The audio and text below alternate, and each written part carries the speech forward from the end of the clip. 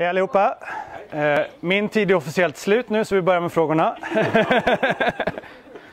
Om alla undrar varför det är dåligt väder idag så är det för att jag har kräftskiva hemma. Så, ja, det började liksom bra. Vaknade i morse, fick gå ut och ta mig av tältet, allt vatten för att vi liksom kanske skulle kunna ha kräftskiva ikväll. Och sen där utifrån har dagen bara gått jättebra. Träffade en kund som är jätteirriterad på CBM. Så det var bitit mig i läppen några gånger. Så nu hoppas jag att ni har tweetat och talat om att Allerhed är sen. I mitt betygssystem stod det garanterat Allerhed är aldrig här. så, och jag, jag, är lite halvkänd för att vara sen så jag tänkte idag skulle jag vara i tid men det, det hjälpte inte så mycket. Uh, ja, vi kör. Fråga gärna, avbryt gärna. Uh, ska försöka hålla mig lagom så vi kommer ut. Halv bör du vara ute, eller hur? Ja, för att de ska börja rigga här för kvällen. Så har ni några frågor så får vi ta dem i foajén sen där ute över kopp kaffe eller något annat så jag kan stressa av lite. Eh, jag tänkte berätta om lite olika saker och så svarar jag jättegärna på frågor högt, lågt, vitt och brett. Jag tänkte berätta lite om vad IBM är, vad vi gör. Jag fick lite frågor om hur vi har gått från att vara... Vi har ju transformerat IBM ett antal gånger så jag tänkte beröra det lite grann och så tänkte jag berätta lite grann hur vi jobbar med eh, det som vi kallar för social business internt, alltså hur vi använder sociala, externa sociala verktyg fast att samarbeta internt. Vi är ju ett litet mikrokosmos internt på IBM tack vare att vi är 400 000 anställda. Det är inte så jättemånga andra stora företag eller företag som har den fördelen att kunna vara så många internt. Så ibland blir det en liten inre ankdamm där vi kan bete oss nästan som vi vill. Det känns som vi har en egen liten värld att leva i. Så det var vad jag tänkte. Nu ska vi se. Uh, hur många vet vad IBM är? Kan jag få ett förslag på vad IBM är istället? uh, vad gör vi? Ja, det var faktiskt ett ganska bra svar. Jag, jag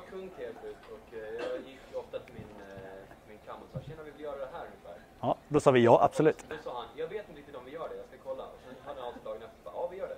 Det var ett bolag i Japan, det var ett bolag i Tyskland som gör det. Ja, men det, det, stämmer ganska bra. Det här är väl vad de flesta hade uppfattningen av att vi gör. Om man går ut och frågar gemene man så säger de, ja men ni gör ju de där de datorerna som jag kan köra över med bilen och den kommer fortfarande att funka.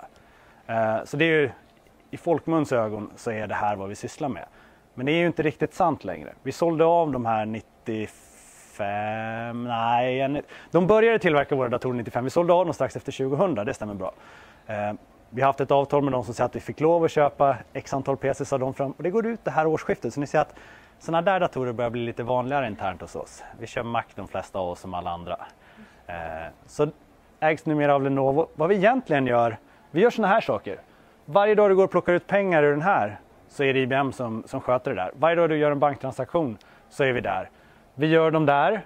Jag ska snart berätta att det är en sanning med modifikation men, men för sakens skull så gör vi dem än. Eh, vi tillverkar processorn i den där där borta. Faktiskt i alla stora äh, spelkonsoler som finns så sitter en processor tillverkad av IBM. Det kallas för cellprocessorn.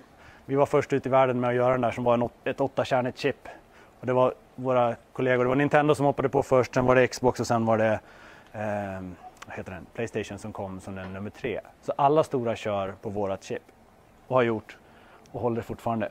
Det här brukar jag vara mindre stolt att berätta om att vi gör. Ibland är det jättebra att berätta, ibland så får de sådana blickar som bara Ja men vad bra, jag kan skicka mitt registreringsnummer så kan väl du fixa så att det aldrig mer dyker upp. Och så, mm, ja, mm. Och det här är en ganska intressant lösning för här gör vi rubbet. Det här är ett, hel, ett helåtagande från IBM där vi gjorde allt från lösningen, implementation till faktiskt driften av det. Eh, som är ganska intressant. Vi, vi har duplicerat den där så vi kör den lite runt om i världen nu och gjort ett paket av hur man gör en betallösning för att kunna göra eh, den här biten. Eh, men den största biten från IBM det är faktiskt det där där borta. Det är vår tjänstedivision. Det är våra människor, våra 400 000 anställda. 60 procent av våra anställda jobbar utanför företaget varje dag. Det är ganska mycket om man tänker på hur många vi är. De sitter ute hos kund varje dag. Eh, det här lite för att beröra när jag, när jag sa de där sakerna. Ja, vi, var, vi har varit ett hårdvaruföretag, vi har levt på att tillverka PC, vi har gjort point of sale-system, vi sålde precis point of sale. Och den här är ganska signifikant för det, för det här talar om vart vi vill vara och hur vi driver vårt företag lite tillbaka till din fråga också om open source. Vi vill vara där vi skapar högt värde för stora företag. Det är IBMs positionering. Så vi vill inte vara här nere och sälja 99 dollars Android-telefoner till konsumenten. Det är inte den business som vi tror att vi vill vara i. Hög volym, låga marginaler. Vi vill vara lagom volym, höga marginaler och högt värde till våra kunder. Hög kostnad tror jag någon sa. eh, där har vi gjort ett antal strategiska val. Vi valde att kliva av PC-verksamheten för vi såg att det var en volymbusiness som hade låga marginaler. Vi valde att kliva av point of sale nu för vi anser att nej, vi har inget mer att tillföra där. Nu krigar vi bara på pris. Det har liksom flyttat till nästa steg. Vi har fortfarande kvar mjukvaran bakom för där tror vi att det finns ett stort värde. Det är också ganska signifikant när vi ser hur vi flyttar framställningarna vad gäller just mjukvara. Vi ger bort ganska mycket av vår mjukvara till open source. Eh, Apache, världens mest använda webbserver, är någonting som IBM faktiskt skrev, gjorde i början på tidigt 90-tal när vi började med e-commerce. Vi ansåg att det var allas rättighet att ha en webbserver. Så vi gav den till Apache Foundation. Eh, OpenOffice har vi jobbat tillsammans med ganska länge nu. Vi gav bort det som vi kallar för Lotus Symphony som är en OpenOffice, eller våran, var våran variant av OpenOffice. Gav bort all kodbas nu vid årsskiftet för att gå in och sponsra OpenOffice och OpenOffice version 4. Vi anser att eh, ordbehandling, kalkylhantering, presentationshantering, det är inte en konkurrensfördel längre utan det är något som var man ska ha rätt till. Det ska finnas för alla. En fråga där. Hur? Ja, ja det, det, därom tvistar vi lite grann. eh, nej men vi ser att i och med att vi är med och gör det här så skapar vi möjlighet för den där marknaden där uppe att existera. Dels så gör vi det också, vi motiverar det också på så vis att ja, vi plockar ju bort några av våra konkurrenter genom att göra det här till, till allmän egendom. Så kan inte våra konkurrenter sitta och tjäna massa pengar på någonting för att sen kunna betala att de ska kunna vara i det där området där uppe och konkurrera med oss. Så då anser vi att nej, men då, låt oss spela på lika villkor. Vi ska ha samma bas att jobba utifrån och så ska vi tillföra ett värde ovanpå den basen. Och kan vi inte längre tjäna pengar på den basen, då är det dags att flytta positionerna. Det är, om vi tittar i den jättestora bubblan för vad vår strategi är. Sen om man går ner på mikroskop och säger att ja, men du mäts faktiskt på den här produkten och nu vill vi göra den till open source så kan jag lova att det, det kan vara ganska tuffa diskussioner innan vi kommer i mål med vad som faktiskt ska hända. Eh, så det är inte alltid självklart. Men i den stora strategin så är det så det fungerar. Eh, den, eh, som jag sa, vi har gått ett antal vägar genom att vi började vi hette International Business Machines. Vet ni vad de första produkterna vi tillverkade var? Räknemaskiner. Nej. Nej. Nej. Jaha, du, du får inte svara. Det var charkuterimaskiner. Sen så insåg ju den här smarta herren då som, som startade IBM att de som hade charkaffärer de behövde ju faktiskt kunna hantera sina pengar lite bättre. Därav blev det räknemaskiner. Och sen så fortsatte det från räknemaskiner till hålkortsmaskiner till datorer till att vi hamnade i ett läge där vi insåg att ja, men vi har ju alla dessa trevliga datorer, vi rullar ut, det börjar bli mer och mer mjukvara på dem. Vi behöver skaffa en tjänstedivision för att kunna komma ut och faktiskt hjälpa till att skruva in de här datorerna, ta hand om dem och drifta dem ute hos våra kunder investerade vi ganska rejält i en stor tjänstedivision som har stått för bulkparten av våran, av våran inkomstkälla ganska länge. Och nu har vi genomgått kanske den tredje transformationen, så nu anses vi vara, jag läste en ganska intressant artikel av, eh, jag tror det var Forrester som skrev den, att IBM har gjort en ytterligare transformation och nu är vi ansedda som att vara ett mjukvaruföretag. Så vi är på väg in i eran där vi har gått från hårdvara, följt med marknaden, tittat på vart, vart är vi på väg, var är det, var finns det en högmarginalbusiness? Tjänster var en högmarginalbusiness. Tjänster är inte lika mycket en högmarginalbusiness längre. I alla fall inte på volymtjänster. Så därför behöver vi titta på, ja, var står vi, vad ska vi vara? Det skrivs en hel del om vad vi gör och vi tittar aktivt på det här. Vi tittar hela tiden aktivt på hur vår portfölj ska se ut. Därför har vi valt att ta steget in i mjukvara nu och då mjukvara vad gäller den där övre kvadranten som jag pratade om. Eh, men oavsett vad vi har gjort, om ni tänkte på det stod längst ner, så har vi alltid sett till det faktum att den mest värdefulla sak vi har på IBM är faktiskt personalen. Det är personalen som är, det är IBM-aren som är det bästa vi någonsin har uppfunnit. För det är tack vare IBM-aren som vi har lyckats med de här transformeringarna. Vi har lyckats förändra, vi har lyckats styra om företaget ett antal gånger. Eh, vi är ett sant globalt företag. Den där är ganska gammal nu den där cirkeln, men jag hittade ingen, ingen bättre för tillfället. Vi, väx, vi krymper, på, i, vi krymper i, i, USA, växer lite, lite grann i det som vi kallar för EMEA, men framförallt så växer vi i Asien extremt mycket. där vi tittar på. Kina är en tillväxtmarknad för oss extremt där vi som alla andra går en balansgång med den kinesiska staten för att se till att kunna få så stor marknadsdel som möjligt. Eh, och varför är vi då så framgångsrika med att göra det här? Jo, för att vi i mångt och mycket så litar vi på våra anställda. Vi har ett ganska bra skrivet anställningsavtal, men vi har satt ett antal värden som, som är viktiga för oss som IBM. Det här är de värden vi har. Dedication to every client success, alltså varje IBM-are ska ha som sitt första mål att se till att göra kunden nöjd. Hoppas att du har en bra erfarenhet av oss nu så att du säger att mm. mm men han kom ju tillbaka och sa att vi gjorde det så jag måste vara nöjd. Innovation som är betydelsefull för IBM och för världen. Om ni tittar på, på vad vi kör i våra reklamkampanjer just nu så pratar vi väldigt mycket om Smarter City, Smarter World, eh, Smarter Industry, Smarter Utility, Smarter Energy etc. Så vi gör ju en hel del där vi tittar på saker som inte ligger precis där vårat användningsområde är utan ligger kanske lite utanför där vi kan tjäna pengar just nu. Men vi ser att det finns en fördel och driver vi den här utvecklingen så finns det värde för oss att kunna sälja tjänster eller sälja mjukvara eller sälja lösningar bakom det här. Så där jobbar vi ganska mycket. Sen den här sista, tillit, förtroende för våra anställda. Vad har det här gett oss då? Ja, de här värdena och de här IBM har gett oss fem Nobelpriser. Vi har varit en ledande i att plocka patent på den amerikanska marknaden i 16 år på raken. Långt ifrån de andra och sen så tittar ni på hur många, hur många stämningar är vi inblandade i versus de här andra företagen som, som krånglar om mobilmarknaden just nu. Eh, vi, vi, vi, har den där patentportföljen men vi har den för att vi ska kunna känna oss säkra, för att vi ska kunna se till att våra kunder känner sig säkra när de köper vår mjukvara. Att man inte hamnar i det här att jag har köpt en Samsung-telefon och nu om jag får fortsätta använda den om tre veckor till. Vad, vad kommer de att säga?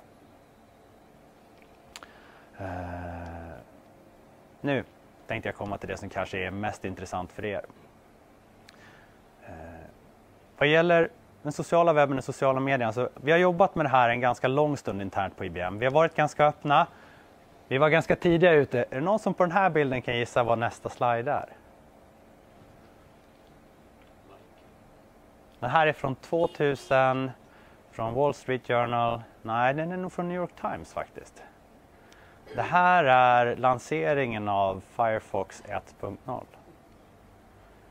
Det som står i själva affischen var en print av alla, alla som skänkte pengar till att se till att Firefox faktiskt blev en första release. Vi var ganska många IBM som var med där, som har sitt namn i den där. Så vi var med, sponsrade den, såg till att, att vi fick ut den här. Vi har varit ivriga påhejare av, av Mozilla efter den tiden. Det är vår primära webbläsare internt. Och det fick oss att satsa på webb ganska stort. Och I och med att vi satsade på webb så dök det upp ett antal utmaningar och den här, någon som har sett den här? Hur många har varit i branschen sedan 98, 99 någonting? Några? Där? Okej. Okay. Jag ska dra storyn lite kort, för den här triggade ett ganska intressant beteende internt på IBM. Den här är tidigt 2000-tal, en kille som är grafisk designer. Han sitter och åker tunnelbana mellan, mellan några olika stationer i New York. Han åker den varje dag, till från jobbet, till från jobbet. En dag så ser han sin drömtjej. Han ser henne på tunnelbanan, han tycker att fantastiskt, han sitter och samlar mod, han tycker att han ska gå fram och han ska prata med den här. Men sen så, när han precis har samlat mod då reser hon sig och så kliver hon av vid stationen. Han sitter där liksom bara. Ah, okej, okay. nu då? Vad gör jag nu liksom? Men han kan inte riktigt släppa det här så han går och klurar på det där. Han funderar lite grann. Vad ska jag göra? Han ritar den här sketchen på den devicen han har med sig. Han köper devicen The Girl of, New York Girl of My Dreams.com. Lägger upp den här och crowdsourcar att försöka hitta den här tjejen. Efter lite om och men, lite spridande Twitter var väl inte så jättestort där då, men det fanns i alla fall. Så lyckas han. Han hittar den här tjejen, de lyckas gå på en dejt. Han lägger upp I found the girl of my dreams.com. Talar om tack, jag uppskattar väldigt, väldigt mycket att ni gjorde det här. Och vad har då det här med IBM att göra? Jo, det var några av våra killar som sitter på labbet som sitter i New York som faktiskt skriver kod som såg det här, följde det här och såg till hur det gjorde. Hur det gick till och började inse att hur skulle vi kunna göra för att dra nytta av det här? Vi är ju trots allt 400 000 anställda. När jag som IBM-are stöter på ett problem, hur kommer jag då i kontakt med rätt människor? Hur kommer jag ut? Hur får jag tag i den där kunskapen? Den kanske sitter i Stockholm, den kanske sitter i Bangalore i Indien eller var sitter den? Hur gör jag IBM till ett virtuellt företag? Hur ser jag till att vi kommer ut? By the way, skulle jag ha varit den där killen som satt på tunnelbanan då för tio år sedan så hade ju det här varit min, det här hade varit min annons bara. Ung desperat man söker snygg intelligent tjej med rätta formerna, kan även tänka mig en erfaren kvinna. En mogen äldre dam går nog också ganska bra. I värsta fall en kille. Middag för två. Det hade varit min touch på det hela men ja. Han var lite driftigare än vad jag var måste jag faktiskt lätt erkänna. Och så ärlig kille söker. den, den slår allt. Men tillbaka. Så det vi gjorde var, vi startade ett researchprojekt. Vi började titta på hur ser beteendemönstren ut hos oss. Och jag ska backa lite grann, för 93 så höll IBM på att gå totalt bankrutt. Vi var på väg att dela upp IBM i det som man kallar för Baby Blue. Det, det var färdigt, vi hade styckat och det var klart. Vi tog in en ny, en ny chef som hette, hette Lou Gerstner vid det tillfället. Hans enda jobb när han blev anställd på IBM var att stycka IBM en hårdvarudivision, en mjukvarudivision eller flera hårdvarudivisioner egentligen. Men han insåg att nej, värdet av IBM är bättre om vi håller ihop det. Så han gick ut och köpte ett företag som heter Lotus. Och enda orsaken till att han köpte Lotus var att han ville införa transparens på IBM. För det han såg när han kom till IBM var att om han sa vi ska gå åt höger. Så tills det kom ner till mig som sitter längst, längst, längst ner ute på linjen där och jobbar. Så var det ta två steg bak och sväng vänster och ta med dig en skiftnyckel. Om jag sa jag behöver en skruvmejsel, tills det kom upp till han så var det han behöver en Ferrari som kan frakta en mainframe. Det var ungefär så skevt budskapet var.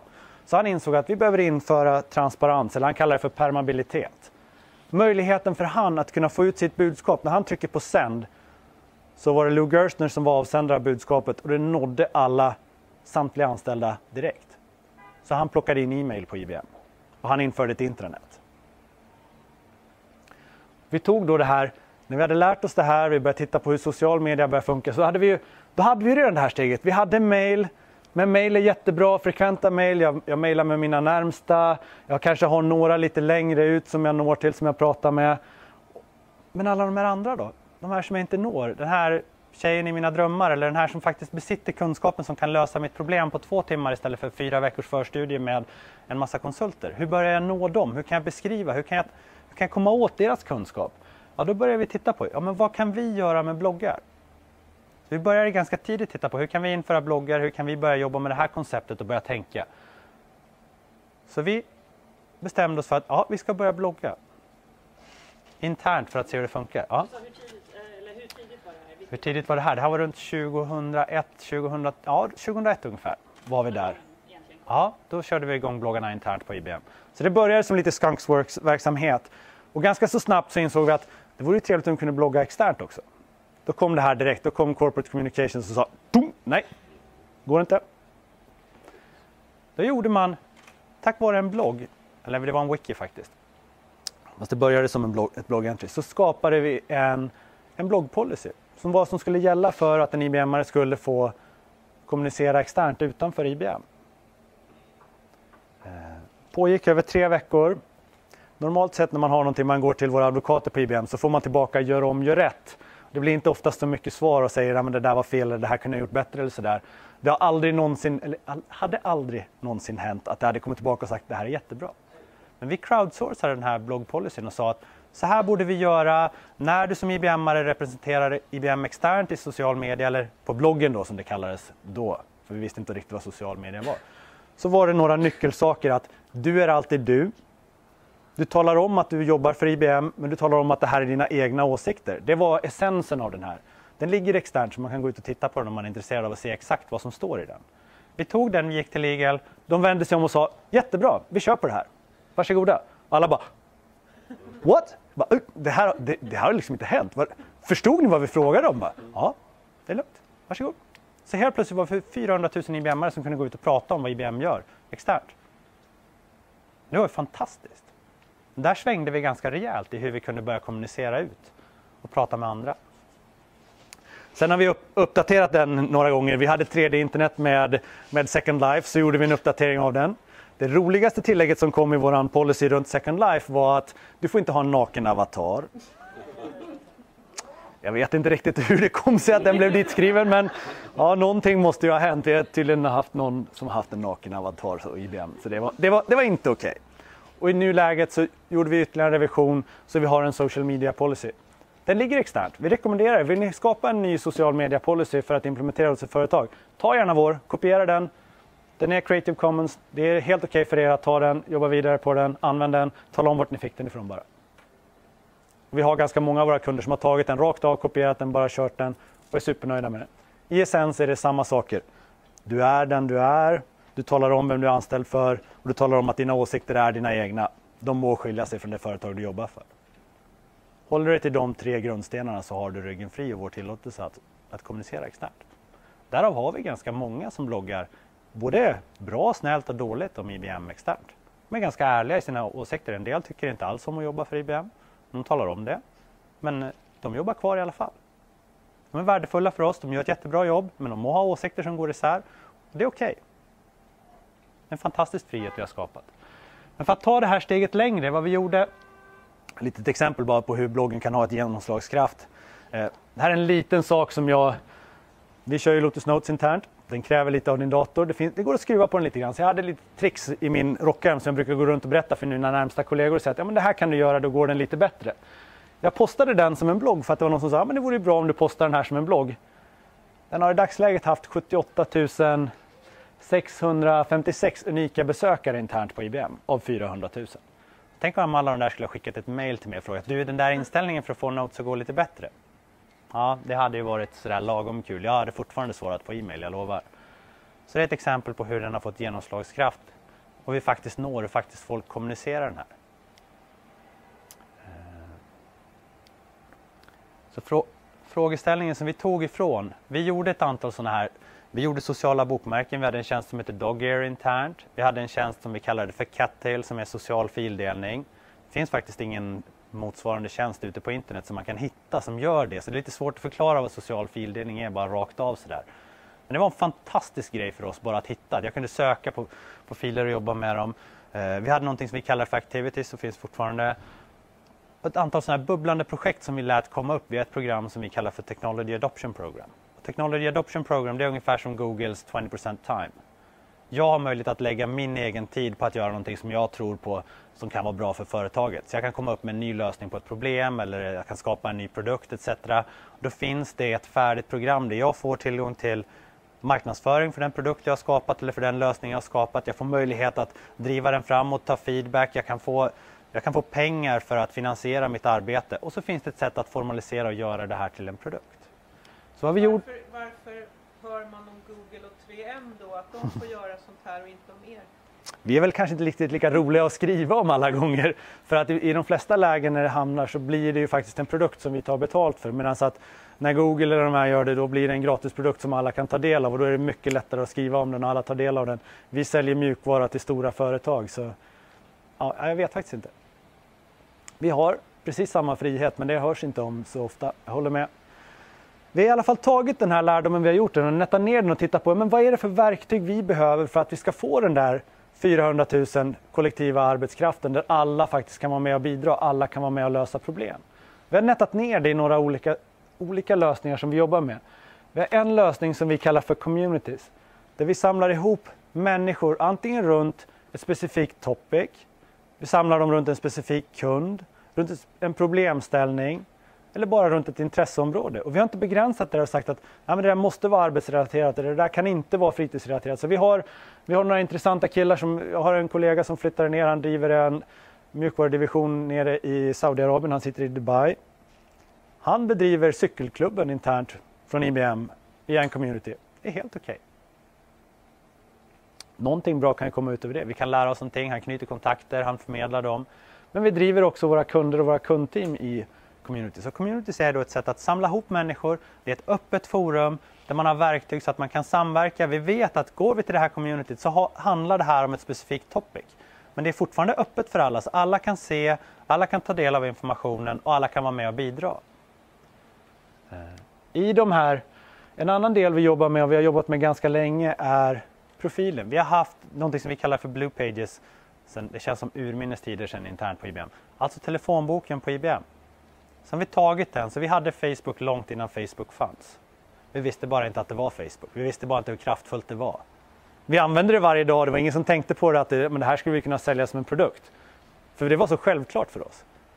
Och, liksom, ja. Och sen kom Facebook och så bara, men vänta nu, vi har ju precis det där, det är det vi har gjort hela tiden. Vi kanske inte skrev statusuppdateringar till varandra. Men vad vi gjorde var att vi hade den explicita organisationen som talade om var sitter jag faktiskt formellt. Jag rapporterar till den här, rapporterar till den här, så här ser min hierarki ut.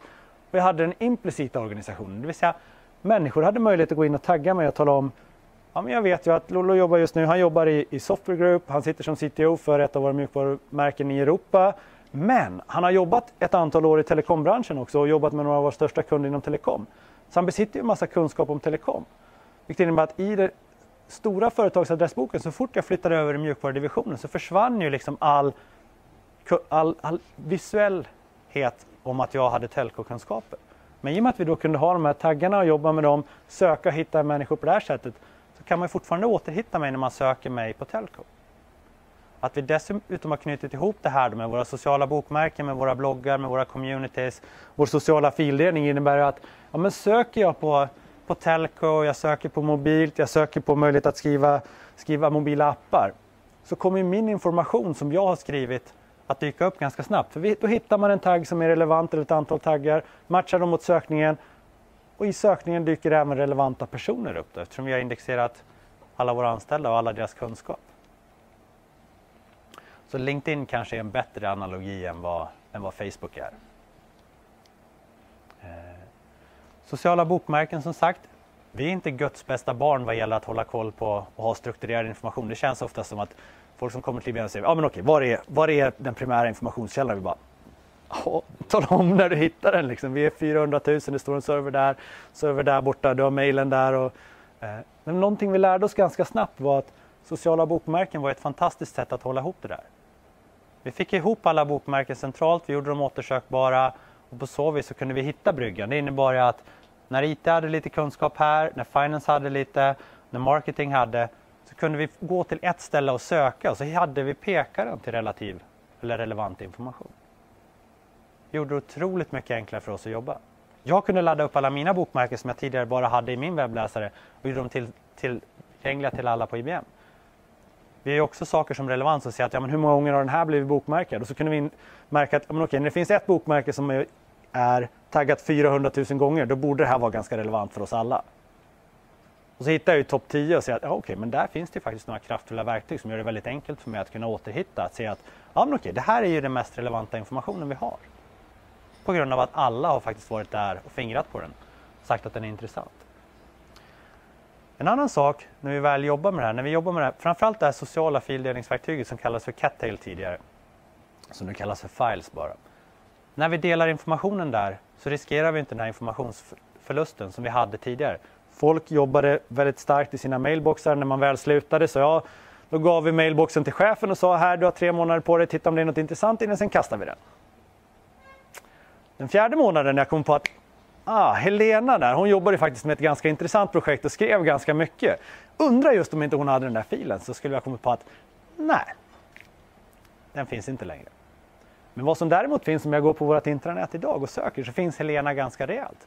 Hon finns i den här sociala plattformen och hon, hon är ganska bra, var ganska, hon är fortfarande, ja. Du har lämnat oss Helena, du är död. Nej, jag skojar.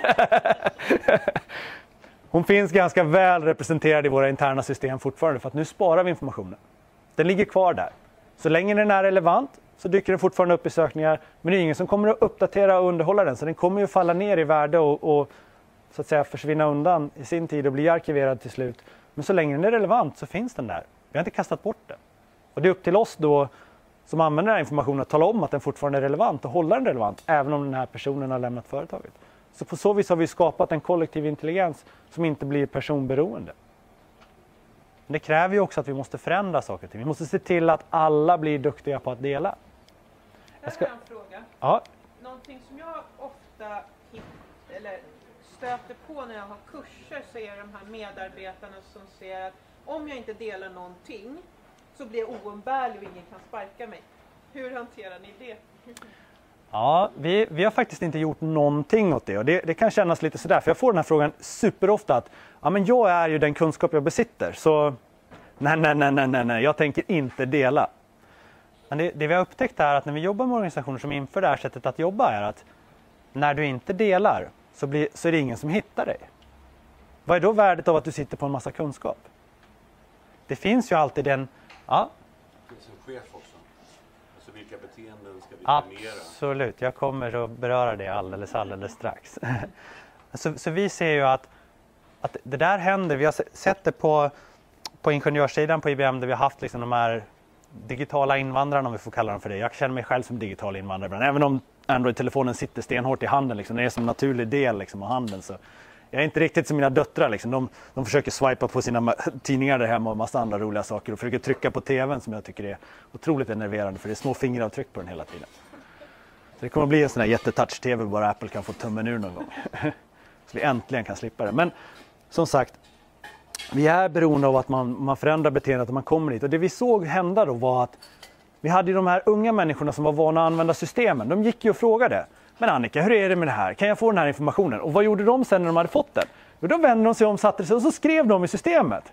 Och så helt plötsligt så såg det ut som att det är jag som kan allt, men jag går till Annika varje gång jag behöver veta någonting. Och så växer jag och blir tillgänglig. Och då helt plötsligt kommer Annika börja undra, nu är det ingen som pratar med mig längre, det känns lite ensamt här borta. På så vis får vi med oss dem in i systemet också. Sen har vi, sen har vi tittat på lite olika belöningsmodeller och belöningssystem nu och implementerat det ute hos kunder. Men nio gånger av tio så är det faktiskt inte det som fungerar utan att det är det här andra sättet att när andra börjar tanka ur dig information och sprida den så försvinner du lite grann ut och någon annan blir mycket mer intressant som är effektivare. Förändrat beteende. Vi fick en ny kvinnlig CEO. Hur många har sett det i tidningen? Vi kanske så, så många såg inte när hon blev CEO. Det skedde den 25 oktober förra året. Bla bla bla. Det var inte så jättemånga som märkte det, men många märkte det för vi sponsrar US Open i golf. Hur många vet om golfklubben Farmagusta? Vad är det som är så exklusivt med den? Bara män. Bara män som får vara medlemmar, ja. Och där hade vi en jättefight. Så den här damen tog på sig den, den, den hårda handsken och sa att okej, jättebra. Men alla, alla, IBM, alla CEOs för IBM tidigare har faktiskt varit medlemmar i Farmagusta tack vare att vi sponsrar dem. Så om inte ni ordnar det här så slutar vi. Ginny Rometti är den första kvinnliga medlemmen i Farmagustas golfklubb. Coolt. Men vad som hände var annonseringen av Ginny Rometti som chef var ett tweet från IBM News. Det var den första signaleringen ut att vi hade en ny CEO. Det första Ginny Rometty gjorde när hon pratade med oss internt, det var att hon gick till vår sociala plattform och skrev motsvarigheten till en tweet, en statusuppdatering. Och talade om tack så mycket för att jag har fått bli ny chef, jag uppskattar verkligen det här, jag kommer sätta min prägel på företaget. Jag jag är väldigt glad att jag har fått bli en del av det. Och tillsammans med det så finns det en länk till en två minuters videosekvens som hon faktiskt körde också där hon berättar hur, hur fantastiskt hon tycker det är att ha blivit vald till, till ny CEO för IBM. Så hon valde att sätta ett precedens i att jag kommer att använda det här som min primära kommunikationskanal. Och det har gjort att alla chefer under henne har ju vänt så här och sagt okej, nu är det nya tågordningar, vi går åt det här hållet. Och det, det förändrar verkligen beteendet. En annan sak som hon gjorde 25 oktober tillträdde hon. Vid årsskiftet har vi alltid det här utvärderingen. Hur gjorde du förra året?